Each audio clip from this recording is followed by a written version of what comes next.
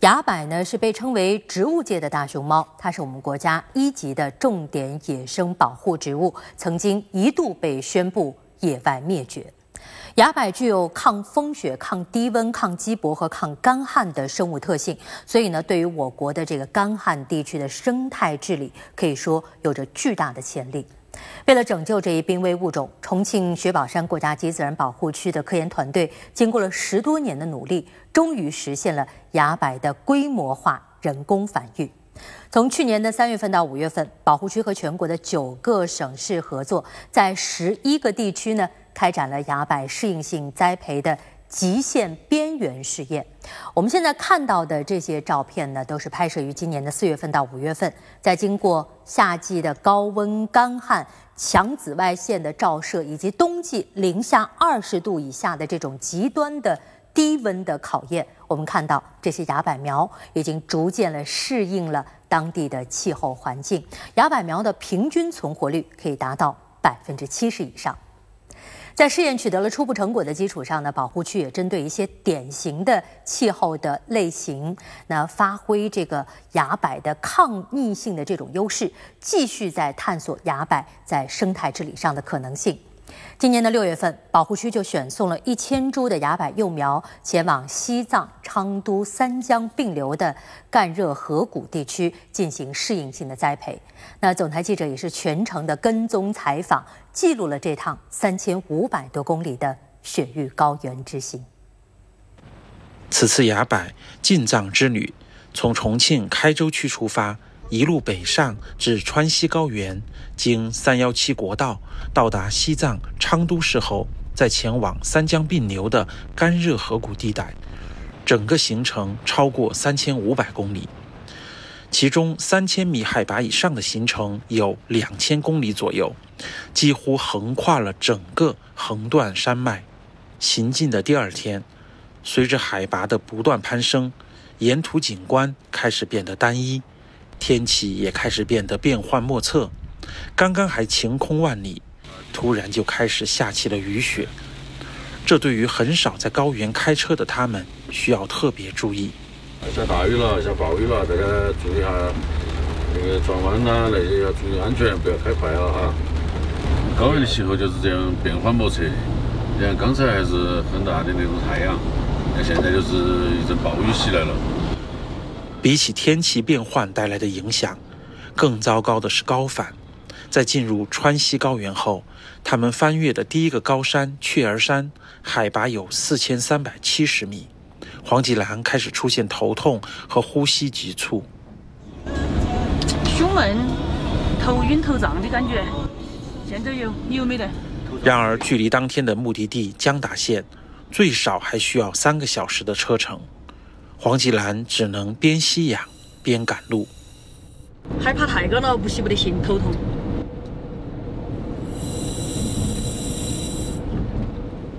可就在翻越山口不久，他们就发现，运送崖柏的车扎进了一枚螺丝钉。虽然有备胎，但在高海拔地区缺少电动工具的情况下，耗费人力换胎并不是明智之选。他们只能缓缓前行。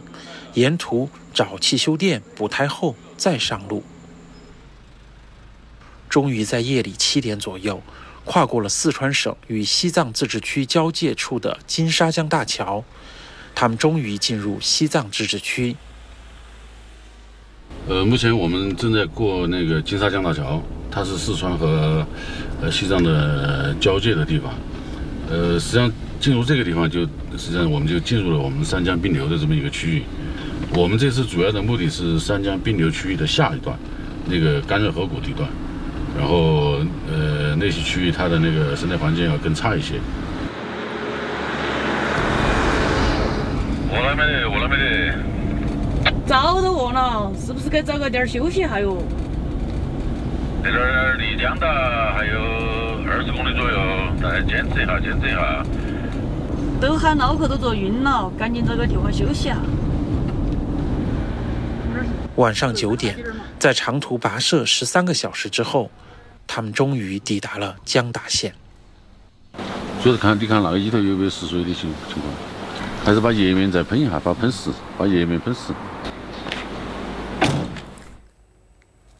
沿着金沙江的支流一路前行，翻越了海拔四千四百八十一米的松拉宜山垭口之后，扎取浑黄的河水就在眼前翻涌。扎曲是澜沧江上源，在昌都市和昂区汇合之后称澜沧江。澜沧江流域的干热河谷就是此次崖柏适应性栽培的主要区域之一。干热河谷区域内强光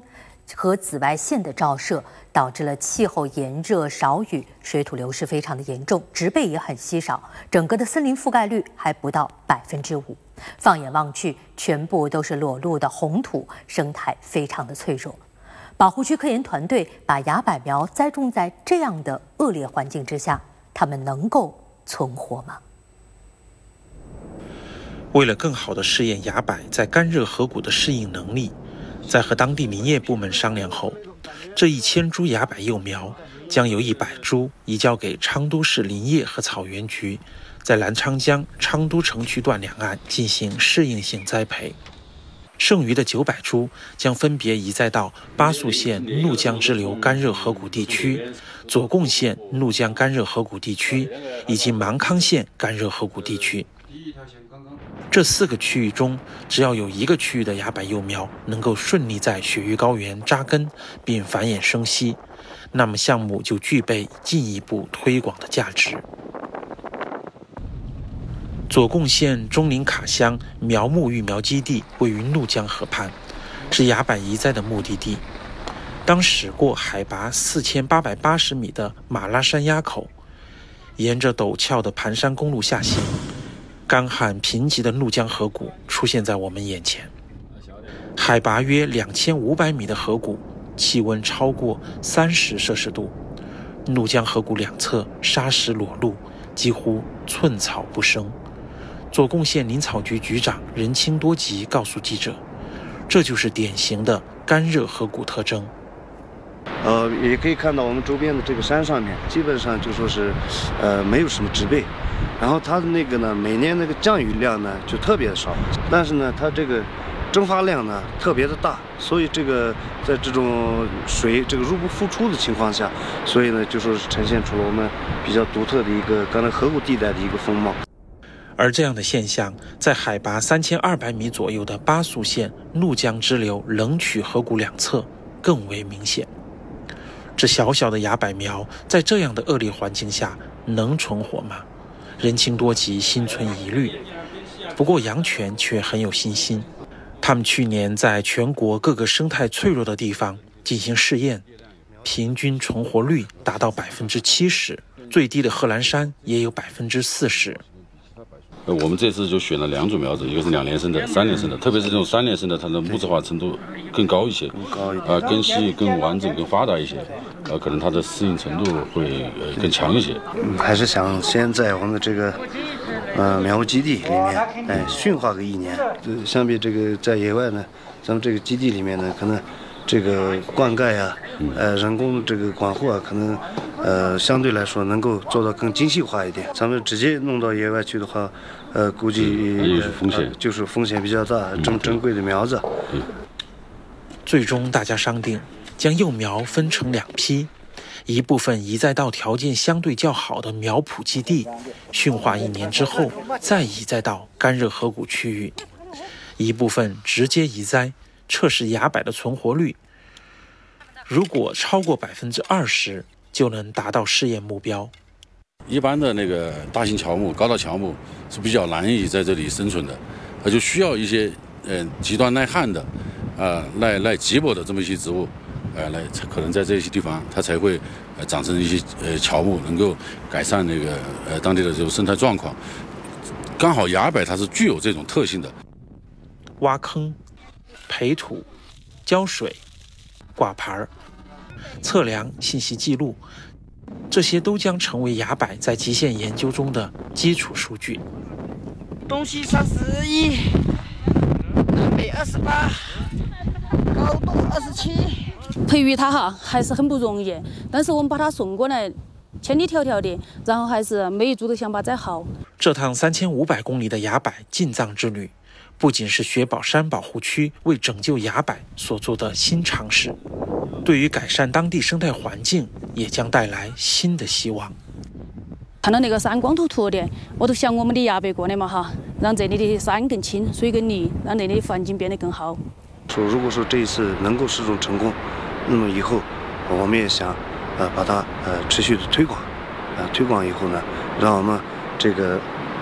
呃土地面貌啊发生变化，呃让这个山绿起来。因为崖柏作为一个珍稀濒危物种，我们在给它进行绝对的保护的前提下。呃，我们的想法就是要对它的，呃，能够为我们的呃生态修复、生态治理发挥更大的生态功能、生态价值。呃，我们从今年开始，呃，我们又针对一些比较典型的呃一些区域有试验价值的一些区域，啊，包括干燥河谷地带，然后还有我们的黄土高原的干旱和半半干旱区域，还有我们那个贵州、广西的那些呃石墨化比较严重的区域，然后会把我们整个的试验的基地的数量达到三十个。让我们的崖柏的试验性栽培试验呃更为广泛，呃更为科学。从发现的时候呢，野生崖柏的数量不足一万株，到现在保护区呢实现崖柏的可持续规模化的人工繁育，目前为止已经人工繁育出了崖柏。二百七十万株，那野外回归是七十五万株，同时呢，还有野外回归的面积达到了四千五百亩。从去年的三月份开始呢，崖柏已经移栽到了云南、宁夏、陕西、甘肃、山东和广东等十个省市的十八个地点，在继续的探索崖柏在生态治理上的可能性。那未来呢，保护区的科研团队还会继续的走进更多的地方，让这棵曾经濒危的物种扎根在。祖国大地。